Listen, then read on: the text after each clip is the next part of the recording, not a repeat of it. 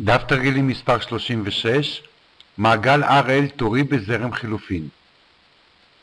תרגיל מספר 1 למתח של 220 וולט בתדר 50 הרץ חובר בטור נגד שהתנגדותו 11 אום והשראות 71.5 מילי הנרי.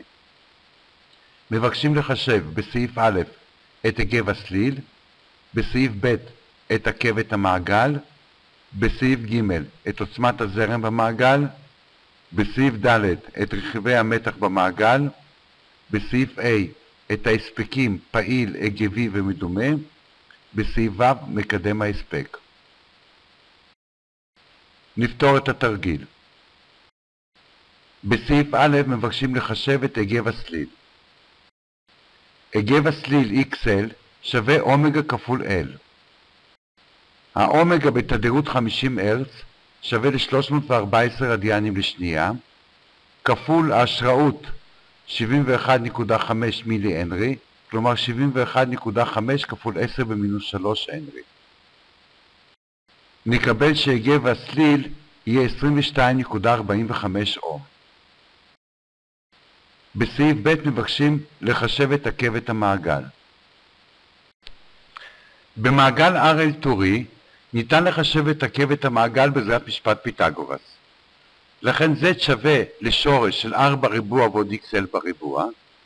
r נתון לנו 11 אום, וה-xl חישבנו אותו 22.45 אום. ולכן זה תהיה שווה לשורש של 11 בריבוע ועוד 22.45 בריבוע. נקבל שעקבת המעגל תהיה שווה ל-25 אום. בסעיף ג' מבקשים את עוצמת הזרם במעגל. הזרם במעגל לפי חוק קום שווה למתח חלקי ההתנגדות של המעגל. המתח הוא E וההתנגדות של המעגל בזרם חילופין היא הקווה Z ולכן הזרם I יהיה שווה למתח של 220 וולט לחלק לעקבת 25 אום. ייתן לנו זרם בעוצמה של 8.8 אמפר. בסעיף ד' מבקשים לחשב את רכיבי המתח במעגל, כלומר את המתח של ההתנגדות ואת המתח של ההיגב. מפל המתח של ההתנגדות לפי חוק אום שווה לזרם כפול ההתנגדות.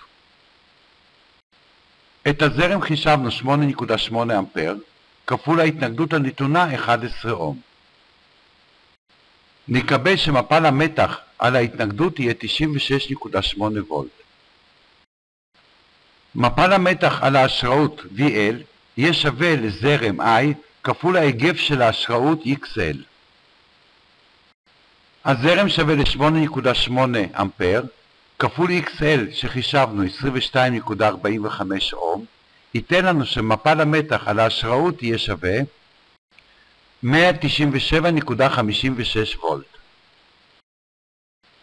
בסעיף A מבקשים את ההספק הפעיל, ההספק ההגבי ואת ההספק המדומה של המעגל. ההספק הפעיל קיים אך ורק בהתנגדות, לכן ההספק P יהיה שווה ל-I בריבוע כפול R.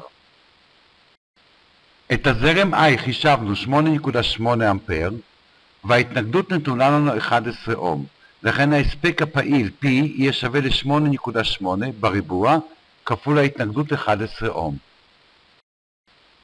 נקבל שההספק הפעיל הוא 851.84 ואט.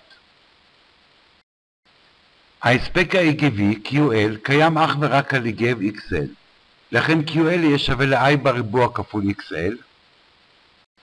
הזרם I 8.8 אמפר בריבוע כפול XL 22.45 אור. נקבל הספק הגבי QL 1738.53 ור. ההספק המדומה הוא הספק של מקור המתח, והוא שווה למתח המקור E כפול הזרם שהוא מוציא I. המתח E 220 וולט והזרם I חישבנו אותו 8.8 אמפר. נקבל שההספק המדומה S יהיה שווה ל-1936 וולט אמפר.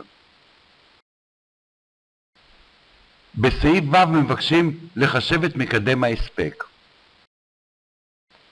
מקדם ההספק לפי הגדרה שווה להספק P לחלק להספק S. זה יהיה שווה, את ההספק P חישבנו 851.84